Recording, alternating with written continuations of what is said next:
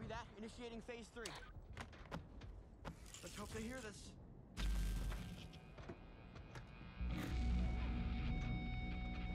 Chrissy, this is for real.